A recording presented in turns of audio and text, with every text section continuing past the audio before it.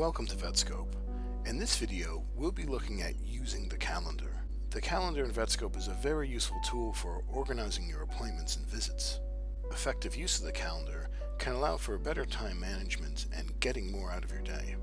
Let's start by looking at the page per day calendar. As its name implies, it displays a calendar for a single day.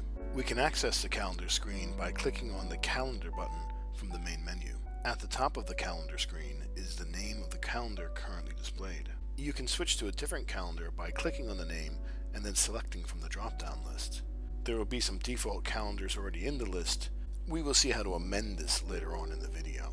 Now let's look at setting up a calendar. First, we will set up the time scheme. This is the time frame that is displayed on the calendar and how it is divided across the workday. To set this, click on the clock icon in the upper left of the screen. You may then be prompted to enter your master password. When asked to add or clear current times, as this is a calendar we want to add times to, click on Add. This next prompt gives us an option to enter a gap, in the form of lines, between what is already on the screen and where our new time scheme will go. With a blank calendar like this, this number is the amount of lines from the top. In order to not have a gap, we would change the number to zero and then click OK. In this next prompt, we will set the time scheme for the whole calendar. What is required is the start time, the time every day begins with, the end time, the time every day ends with, and the intervals in between, which is what way you want to divide up the day. It is important to think through what times are best suited for your practice before creating the calendar and booking appointments. Once times are in place and appointments are booked, if you then decide to change the time scheme, the appointments will not automatically update. For this example, we will make a start time of 9 a.m. This is entered in a 24-hour clock format as 09 full stop 00 full stop 00. The end time we will use is half 7 in the evening, so this will be entered in as 19 full stop 30 full stop 00. For the time interval, we want the day to be broken down into 15 minute portions, so this means it would be entered in as 00 full stop 15 full stop 00. Now that we have all the required information entered, we can click OK to finish. We can see that on the left of the calendar, the time has now populated in 15 minute intervals just as we entered. If you just entered in a time scheme and you decide that you want to change it, click on the clock icon again enter in your master password, and then click on Clear. The times will be deleted, and you can enter in a new time scheme using the process we just saw. There is another option for creating a time scheme. This is using separate blocks of time. This is a more efficient use of the calendar space and is useful if you only do scheduling for certain times of the day. For example, if you only take appointments between 9 and half 12, and then from 2 until half 4, these can be entered in as two separate blocks. To do this, click on the clock icon. Enter in your master password and click OK. When prompted to add or clear times, click on Add. When asked to enter the number of lines to insert a gap, since the calendar is blank, we will enter in a zero to not have a gap. We will now enter in the time scheme the same way as before for 9 to half 12, with 15 minute intervals. The first block of time is now created on the calendar. We can now enter the second block of time. We can repeat the same process of clicking on the clock icon, entering the master password, and choosing to add times. Now, when asked to enter a number of lines to insert a gap, we will enter the number 1. This will put a one-line space between the time scheme that is already on the calendar and the times that we're about to add. We will now enter in the time scheme the same way as before, for 2 to half 4. We can now see that there are two separate blocks of time on the calendar as opposed to one continuous time scheme like we had earlier. Now that we know the different methods for setting up calendar times, let's look at booking appointments. First go to the calendar page for the date intended for the appointment. The date of the calendar page currently being viewed is located at the top of the screen. It is also displayed in numerical form below the calendar name. On either side of the date are arrows. You can use these to move forwards or backwards to a different date. Alternatively, you can just click on the date itself and change it by clicking on the desired date in the drop-down calendar. You can also click on the Today button to quickly bring the calendar back to the page for today's date. Once you're on the right date, to book an appointment, click on the row next to its start time. A search window will appear. You can search for the client or the animal here by typing in their name and then either clicking on enter or pressing enter on the keyboard. For this example, we will type in the last name of the client. A list will appear containing each animal for the client. If you search by the animal's name, all animals with that name will be listed. Click on the animal that the appointment is for. A new window will appear with details for the appointment. If you need to adjust the size of this window to ensure it is completely visible, click and drag it to be the desired size, and then click on the Adjust Window button on the left. This window will now open in this size going forward. Now let's look at the details displayed in this appointment window. At the top of the window is the full name of the animal that the appointment is for and the animal's picture if there's one for them in the animal screen. On the right of the window, the animals for the client will be listed. You also have the option to show RIP'd animals in the list by selecting No in the Exclude RIP field at the bottom right. Clicking on the gray arrow next to an animal's name will bring you to their details in the animal screen. If you need to switch the appointment to a different animal of the client, you can just click on their name. For example, we will temporarily change this appointment from their cat Leo to their dog Miley. On the left of this window is the date and time of the appointment, the animal's name, the client's name, and contact numbers. This information will automatically populate However, there are a few things that can be added. The vet who will be tending to the visit can be assigned by clicking into the VS field and then clicking on the name from the drop-down list. If the person you want is not in the drop-down list, you need to add them in the staff screen. If you want to reference who booked the appointment, this can be entered by clicking into the Edited By field and then clicking on the name from the drop-down list. Just as with the vet, if the person you want is not in the drop-down list, you need to add them in the staff screen. Lastly is the problem field. This is the reason for the visit. Clicking on this field will bring the drop-down list of problems. These are the same as the drop-down in the visit screen. You can then click on the one you want. If you want to enter a problem that's not on the drop-down list, you can double-click into the field and type it in manually. We can now complete this booking by clicking on Enter at the bottom of the window. The calendar now reflects the booked appointment and some of its key details. Appointments are also reflected in the Clients and Suppliers screen. To view this, go to the Clients and Suppliers screen, find the relevant client, and then click on the Appointments tab. In the tab is listed the appointments for the client. You can control what appointments are visible by only showing ones after a particular date. This date can be selected in the top right corner of the tab. Now let's return to the calendar to look at arriving an appointment. When the client arrives on the day of their appointment, click on their booking in the calendar to open the appointment window. Once the window opens, click on the Arrived button on the left. This will automatically open the visit screen for this appointment. Certain information will have carried over from the calendar. Along with the client and animal details for this visit, the problem that was entered in the appointment is included as well. Based on when the Arrived button was clicked, the date and time of the visit is captured at the top of the screen. The animal is also entered into the waiting room. Here we can see when the appointment was for, when they actually arrived, and how long they were waiting. This is based on when they arrived in the calendar to when they are discharged in the visit screen. Back in the calendar, once an appointment has been clicked as arrived, it will appear in green. So that's how to book and arrive appointments. Now let's look at how to move and delete appointments. There will be times when a client has to reschedule their appointment. Vetscope makes moving booked appointments very easy to reschedule an appointment, click on the appointment and go into its details. Once in the appointment window, click on the Cut button on the bottom left.